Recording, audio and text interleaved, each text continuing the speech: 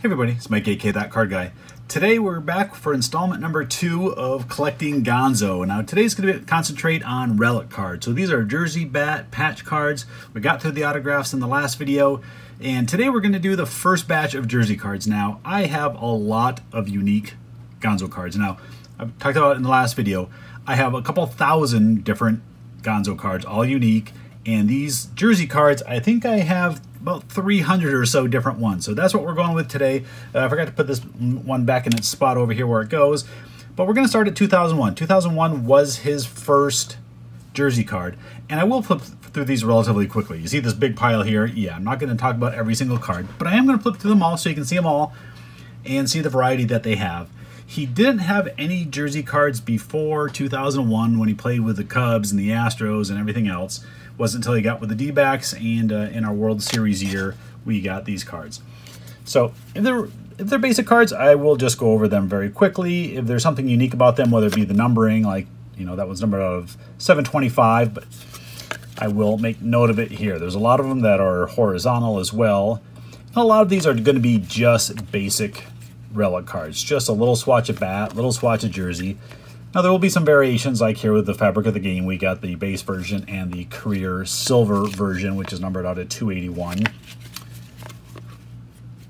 Some of these are fairly hard to get. Some of them are pretty easy. Like I know ones like this you can buy for a couple dollars pretty easy.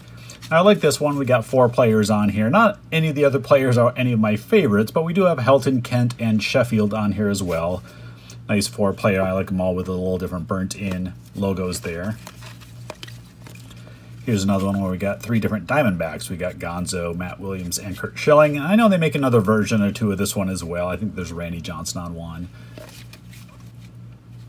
I know this one's not, nope, that one's not numbered. It looks like they have a spot for it, so maybe there is a harder to get version that is numbered as well.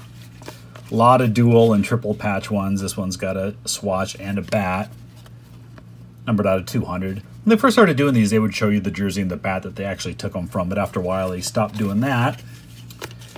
Ultimate Collection has a lot of variations. I don't even know if I have them all from this year because there's the base one at 150, I think, and then there's a Magic Numbers number 20, which is number to his jersey number. We got Game Used Ball with Mark Grace, another Game Used Ball with Randy Johnson.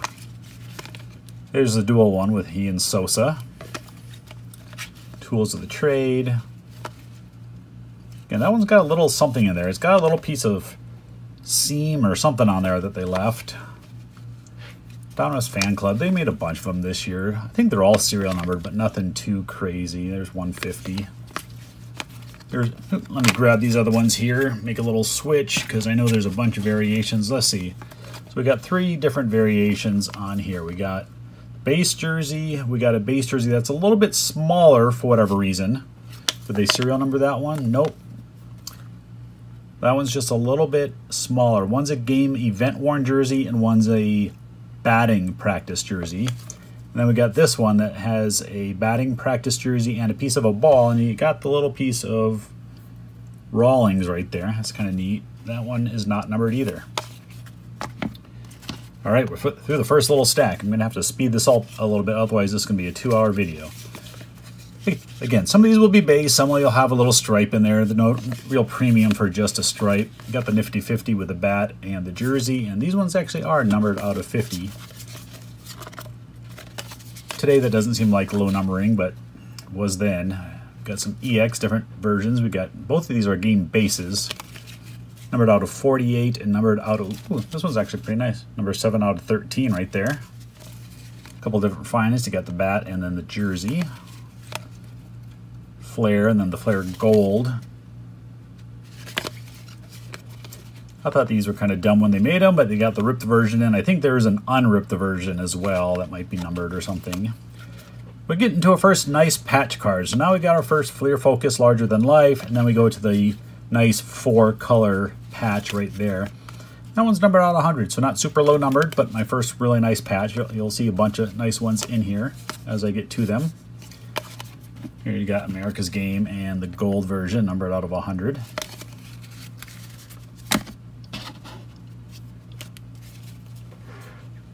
Nice oversized swatch there, number to 100.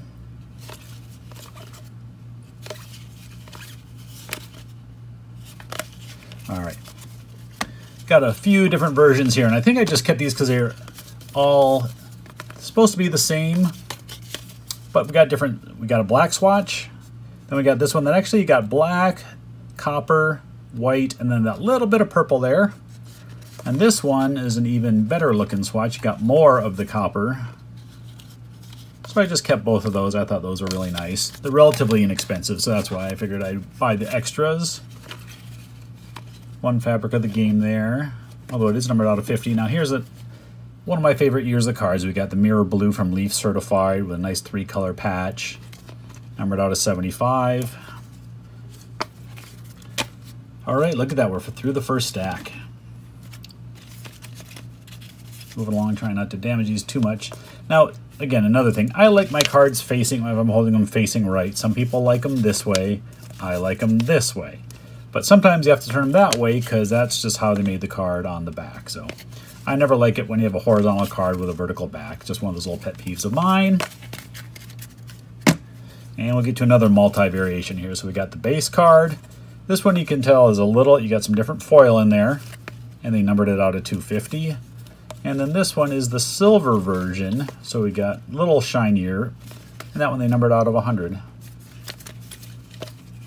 SPX and the SPX Silver, a little numbering difference. Here's another one. We got another Gonzo and Sammy Sosa, both with game bases. That one took me a little while to find the Stadium Slices one. Numbered out of 200.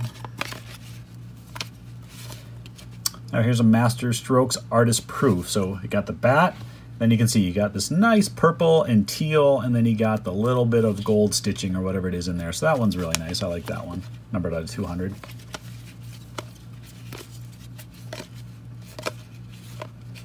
There's a lot of these where they did a bat version and a jersey version.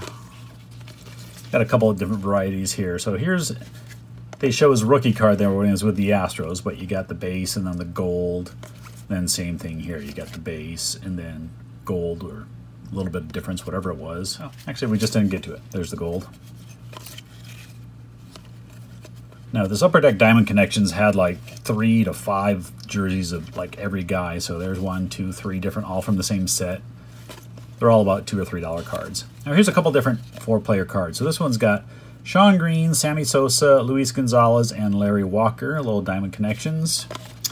And this one's all D-backs. So we got Randy Johnson, Matt Williams, Steve Finley, and Luis Gonzalez. So a couple nice little four swatch ones there.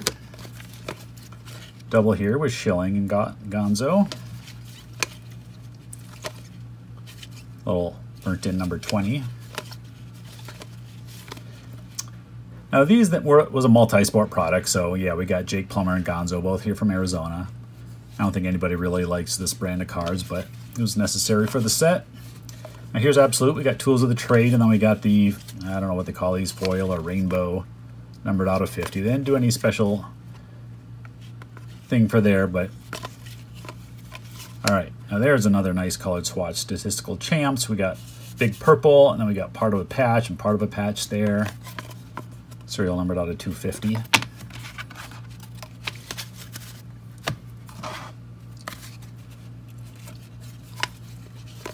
Okay, here's another good patch. National Pastime. There's a lot of crazy patches in this brand, so got a lot of teal in that patch. That one is numbered out of 100.